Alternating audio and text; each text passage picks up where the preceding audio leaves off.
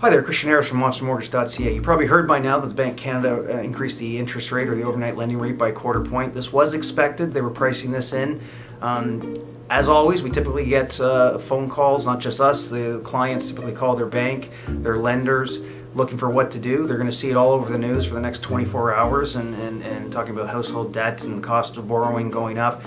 Um, as always, don't panic, don't do anything that doesn't make sense. Today we currently sit at a five-year fixed rate currently sits at 3.75% roughly with most of the banks. If you secured a variable rate mortgage yesterday, worst case you'd probably be at 2.75%. Yes, that rate is now 3%. It is still three quarters of a point lower than the five-year fixed rate.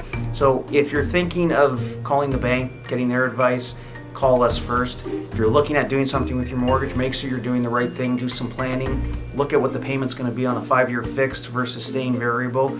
Uh, as we always mention to clients, prime is supposed to go up, supposed to come back down. We haven't had a lot of increases over the last eight years, so every time now that we're getting them, people are getting nervous. This product was never uh, supposed to be one that didn't fluctuate, and it's doing what it does. Doesn't mean it can't come back down down the road. You're still better off going variable than fixed today, but if you're thinking of doing anything, or if you're just nervous or you just want to talk, give us a call and we can walk through your scenario, okay? Thank you very much.